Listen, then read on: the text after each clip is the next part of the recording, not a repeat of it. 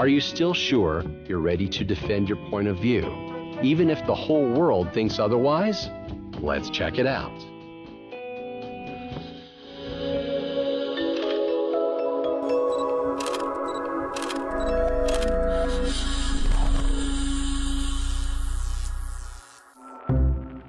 We asked young people to evaluate photos of a girl. How attractive is she in their opinion? At the same time, the only real participant in the experiment is Anatoly, the photographer. The task of the others, Philip, Kirill, and Ivor, is to contradict Anatoly's opinion, to make him doubt his decision, even if their opinion, in fact, coincides with his.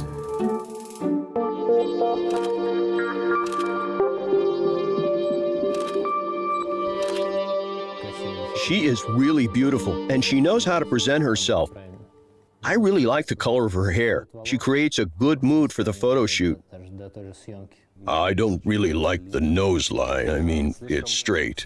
Quite ordinary. Exactly. Yeah, straight and rather rude. I can't really call her beautiful. I I mean, she's nothing special. She comes and goes. You'd never remember her.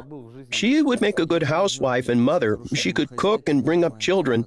She shouldn't be a model walking on a catwalk or being photographed for glossy magazines.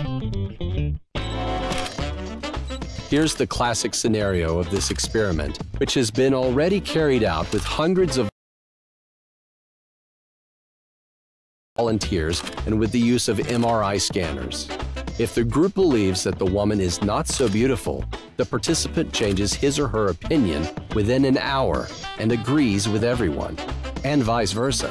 And repeating the experiment a month later, scientists found that such an imposed opinion almost never changed. What about Anatoly? Having heard the unflattering comments of his friends, he begins to doubt his opinion.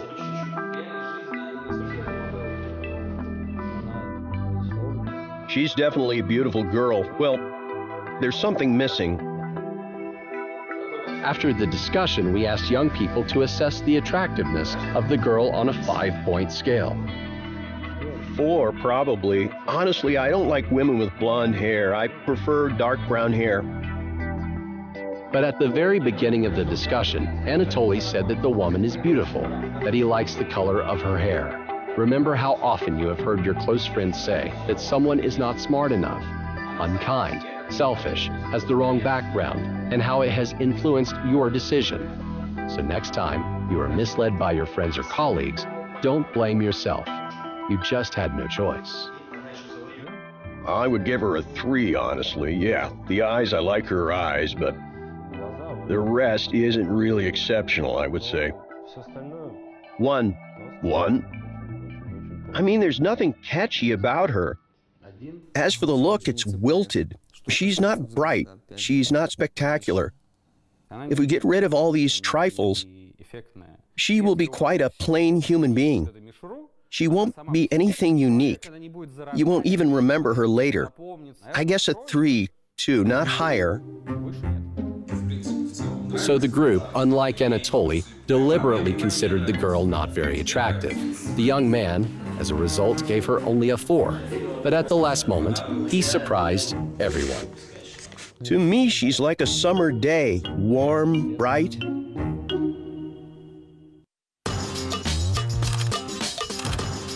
Despite hesitations and deviations from the opinion informal estimates, Anatoly remained true to his emotional evaluations. So psychologists say that in any team there is 10 to 20 percent of nonconformists who defend their opinion against the majority.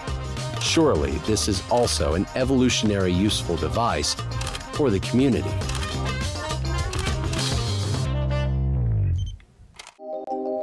So, what do we have in the end? Our decisions are determined by everything, but not by ourselves.